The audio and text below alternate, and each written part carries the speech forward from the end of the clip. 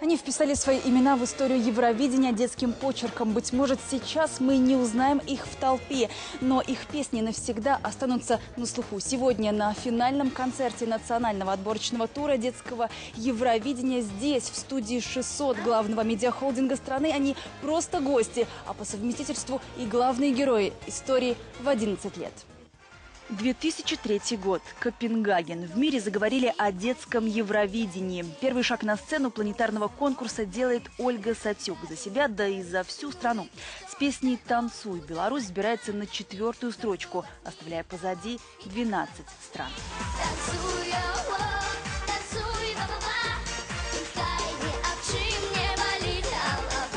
Как повлияло детское Евровидение на вашу жизнь? На этот вопрос за 11 лет Ольга Сатюк ответила по меньшей мере сотню раз. И первое, о чем хочется говорить сегодня, это тексты песен. Пишет не только для себя, преподает вокал, но и, конечно, импровизирует на сцене. Голос умеет работать практически в любом жанре, от фолк-модерна до джаза и даже рока.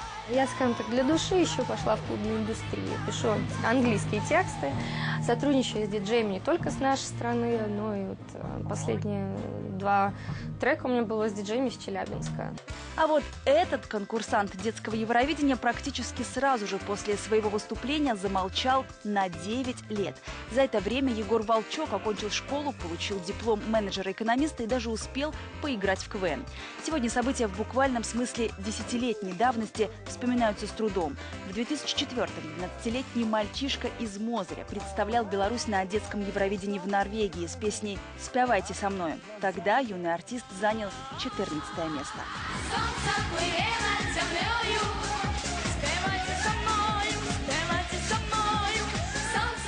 Но сцена своего не упустит. Музыкальную паузу сменила кнопка play и бизнес-предложение от известного белорусского продюсера Владимира Кубышкина.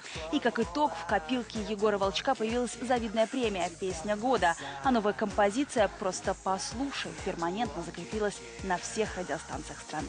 Просто послушай, мне с тобою стало скучно И не делай вид, а слушай Буквально накануне Егор вернулся из Москвы, где участвовал в российском музыкальном проекте «Хочу к Меладзе». Увидеть шоу можно будет уже в сентябре в эфире НТВ. Мы же застали исполнителя за записью новой песни под названием «Стоп». О любви, о чем еще песни бывают, о любви. Э, песня, ну, о таких вот, можно сказать, молодежных буднях, о том, как парень пришел э, в клуб, ну, не в клуб, какое-то ночное заведение, встретил ту самую единственную, ему просто сорвало крышу, и он поет, говорит, э, «Воу-воу-воу-воу», вот такая песня. То есть про любовь, про резкое чувство, можно сказать, с первого взгляда. С первого взгляда в эту девочку 9 лет назад влюбилась, пожалуй, вся планета. Ксения Ситник проснулась знаменитой утром 27 ноября 2005 года. Ведь накануне в бельгийском городе Хассельт, который принимал детское Евровидение, с песней «Мы вместе» она завоевала первое место. На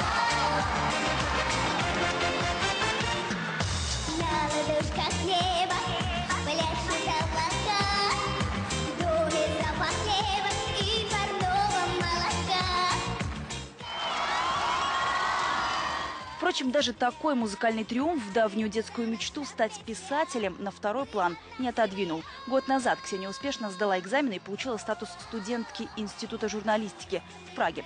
Впрочем, саму профессию девушка осваивает на английском языке. Несколько статей уже опубликованы с подписью «Ксения Ситник». Вам поиграть? У меня дома на фортепиано есть такая функция классная. Я, короче, нажимаю там кнопочки, когда маме хочется что такое сыграть, а оно там программа специальная, я играю, думаю, боже мой, как ты играешь, там всякие симфонии. О том, что пальцы мелодии. забыли клавиши фортепиано, Андрей Кунец признался нашей съемочной группе с первых минут встречи. Впрочем, когда есть новая страсть, это Не уже не важно. Он учится в Институте культуры на режиссера и пересматривает фильмы Теля Швайгера. Я вот даже так уж задумываюсь в жизни. Мне клоунада очень интересно. Думаю, может быть, и этим заняться. Я как-то тоже заметил, что я могу писать что-то. Ну, конечно, режиссура актерская тоже интересна. Больше даже актерская вот как-то для меня. В этом году Андрею исполняется уже 19. Спустя 8 лет угадать в юноше серебряного призера детского Евровидения практически нереально. До неузнаваемости изменился даже голос. Неожиданно низкий баритон пришел на смену звонкому тенору, который в свое время в Бухаресте принес его обладателю второе место. Рождается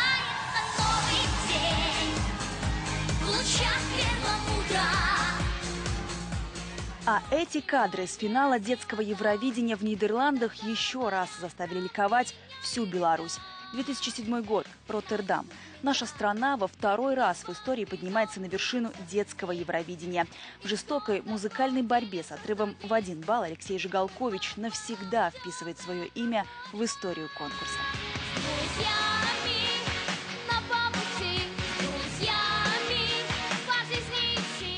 Однако сейчас Алексей работает не над новой музыкальной композицией, что на первый взгляд было бы ожидаемо, а над своим первым короткометражным фильмом. «Маленькая жизнь» – это название будущей ленты, совсем скоро отправится на суд преподавателей Белорусской академии искусств, где и учится начинающий режиссер. Однако это далеко не единственный продукт Леши Жигалковича в новом амплуа.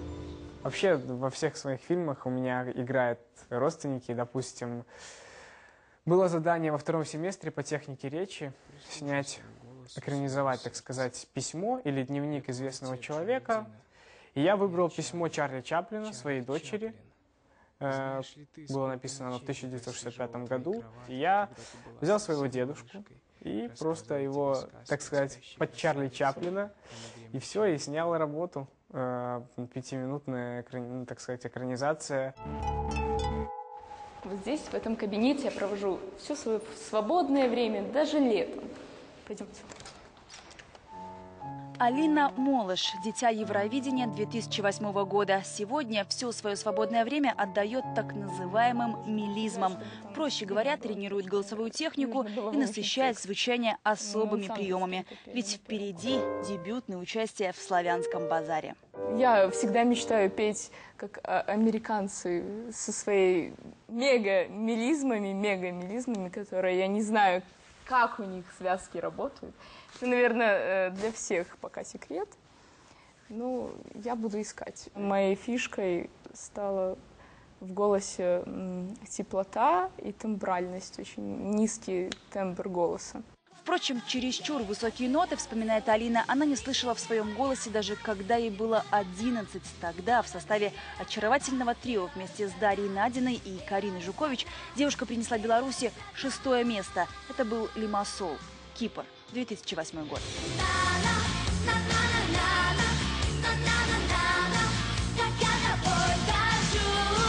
А после, как это, увы, часто бывает, их пути разошлись. Карина отправилась учиться вокалу в Москве, Дарья уехала в Лондон.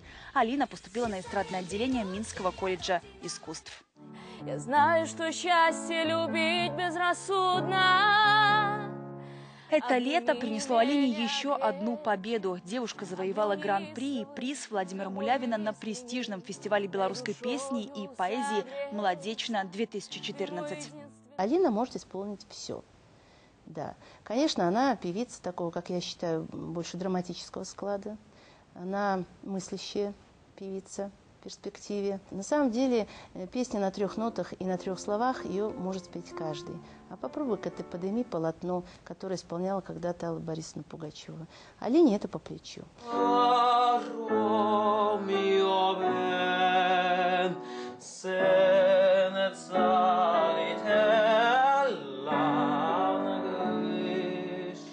Этой композицией Юрий Демидович накануне украсил августовские концерты классической музыки во Франции и Германии. «Каромео Бен» в переводе с итальянского «Давай еще раз» Джузеппе Джордани – произведение далеко не для подростка. Но был ли «Волшебный кролик» пять лет назад в Киеве детской песенкой? Впрочем, это не важно, когда от музыки мурашки по коже.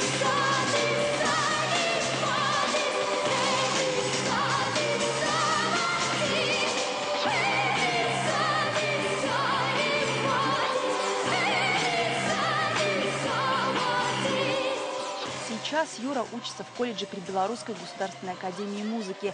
В плейлисте на повторе композиции Луча на повороте, Пласида Доминго и Хосе Карререса. В Впереди однозначно консерватория. Правда, с направлением придется еще определиться. Мне так много нравится в музыке. Допустим, мне нравится играть на фортепиано, мне нравится петь. Я учусь здесь, э, в колледже, на отделении хорового дирижирования, поскольку отдельно вокального нету. Вот. И мне нравится также дирижировать. Мне все нравится, потому что музыка — это вот то призвание, наверное, мое. Такой же вывод для себя сделал и Данила Козлов, хотя во время национального отборочного тура не то что сомневался в своих вокальных возможностях, но даже проспорил однокласснице жвачку.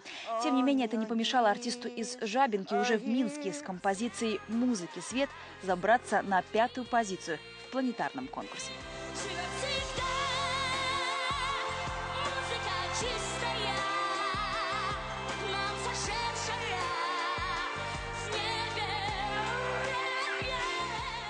В сентябре Данила перебирается в Брест. В этом году парень поступил на эстрадное отделение колледжа искусств. Блеснуть абсолютным музыкальным слухом он планирует в перспективе на взрослом Евровидении. стали больше как бы э, приглашать меня на концерты. Эм, ну, в общем-то, ну не, не сказать, что появились фанаты, но появились люди, которые слушают мою музыку. Правда, в основном это девочки, но мне это как бы, ну, в принципе, нравится, потому что я мальчик. Вот. Четыре года назад 99 баллов и третье место принесли школьницы из Могилева «Ангелы добра». Именно так называлась песня, с которой Лида Заблоцкая отправилась в Ереван покорять сцену детского Евровидения.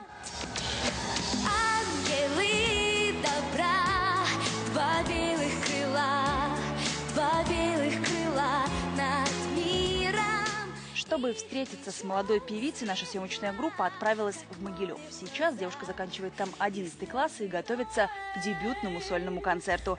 По плану Лида споет на своей первой сцене, на которую она вышла в 4 года с песней Аллы Пугачевой «Тысячу лет» и сразу завоевала титул «Золотой голос» в детском конкурсе «Очаровательный малыш». На 17-летие, как раз мое, которое будет в январе, а, чтобы подвести такой хороший итог, именно совместить, так скажем, полезное с приятным, день рождения и а, концерт, э, где я буду делать э, то, что я очень-очень люблю, я буду петь. Вполне возможно, даже дуэтом вместе со своим младшим братом Максимом. Он уже серьезно намерен представлять семью Заблоцких, да и всю страну на детском Евровидении. Причем с планкой уже определились. Уступить сестре невозможно, а значит, минимум третье место. Попросил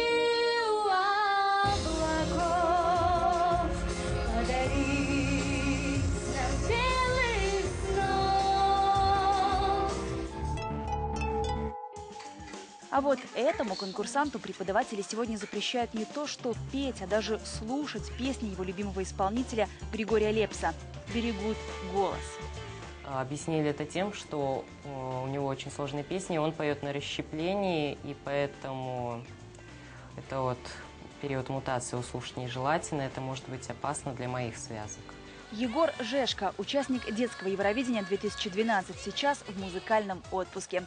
Пока преподаватели надеются на бархатистый баритон, парень перешел в девятый класс и с головой ушел в учебу. На счету более сотни прочитанных книг, в планах как минимум еще столько же. Впрочем, музыку Егор оставлять не собирается.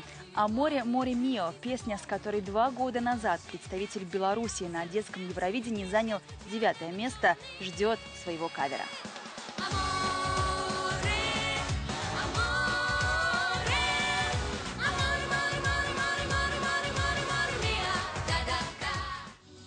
Получить мастера спорта, стать известным тренером и открыть собственную школу спортивных бальных танцев. Чтобы добиться своих целей, Илья Волков с 6 лет и даже на каникулах оттачивает па латины каждый день.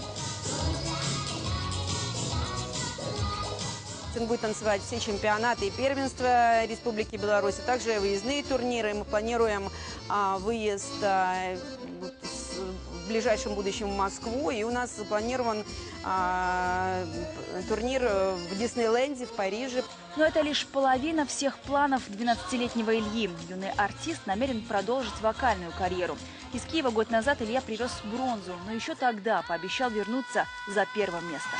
Пой, когда душа летает, пой, когда на сердце грусть. тобой, когда снега растает странно и пусть Часа четыре назад сходил на вокал по к Ольге Вронской. Вот позанимались немного. Вот будем готовиться к Сан-Ремо, в- в Италию. Петь будем готовиться. Ну, может, еще и на голос пойду. Кто же станет 12-м в элитной гильдии детей Евровидения и в ноябре отправится на Мальту представлять нашу страну на сцене конкурса планетарного масштаба, мы узнаем уже совсем скоро.